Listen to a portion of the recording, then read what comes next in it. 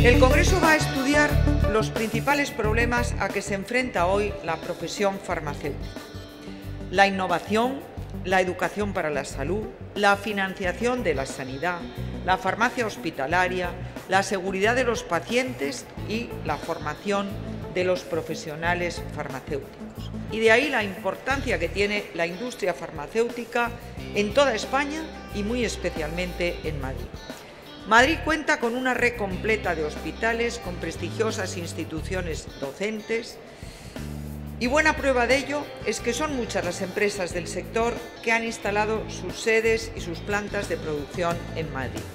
El Gobierno de la Comunidad de Madrid, consciente de ese esfuerzo que está haciendo la industria farmacéutica, que nos hace avanzar en la mejora de la atención de nuestros pacientes, quiere reconocer el papel de los farmacéuticos.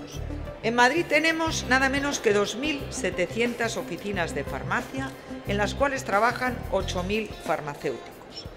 Y precisamente para organizar mejor su trabajo, para dotarlo de mayores garantías, hemos impulsado un convenio con el Colegio Oficial de Farmacéuticos de Madrid para aprovechar al máximo los conocimientos profesionales y potenciar las innovaciones tecnológicas. Y buena prueba de ello es que destinamos nada menos que 2.000 millones de euros al año, el 27% de todo el gasto sanitario, a inversiones relacionadas con el sector de la farmacia, en beneficio de los ciudadanos madrileños. Muchísimas gracias.